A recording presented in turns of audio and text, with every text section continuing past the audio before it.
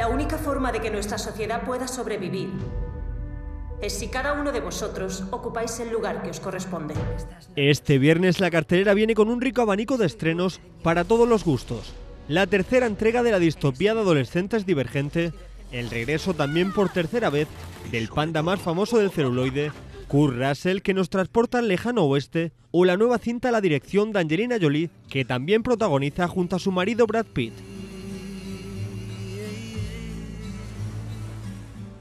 Como ya vimos en Crepúsculo, los Juegos del Hambre, nos llega la tercera y última entrega de Divergente, troceada en dos partes. Para ver el acto final habrá que esperar a 2017. En esta ocasión los protagonistas vuelven a ser Tris, interpretada por Selene Goodley, y cuatro en la piel de Theo James, que se escapan de la muralla que rodea Chicago y descubren nuevas verdades. No podemos salir ahí fuera. Tenemos que hacerlo. No hay vuelta atrás. De terceras partes va el asunto. En esta ocasión hablamos de la vuelta del panda más laureado del séptimo arte. La película narra la reaparición del padre de Poe, perdido hace tiempo, con quien viaja a un paraíso secreto de pandas y se enfrenta a un nuevo villano.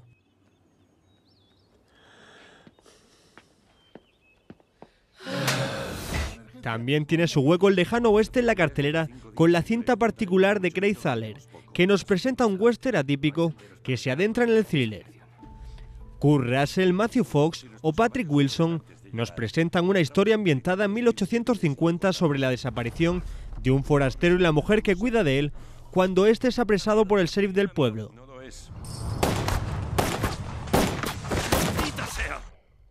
No tenía motivos. Si quiere cuestionar mi moral, hágalo más tarde. Angelina Jolie regresa a la dirección con un largometraje que también escribe y que junto a su marido Brad Pitt produce y protagoniza. En la película Pitt y Jolie dan vida a un matrimonio en crisis que llega a un bonito y tranquilo pueblo francés en los años 70. No eres nada. Hazme daño. Premiada en el pasado Festival de Cannes, llega una de las sensaciones del cine europeo, la ópera prima de la directora francesa turca Deniz Gamzer-Guban, en la que retrata la colisión entre la tradición y la libertad en la Turquía actual.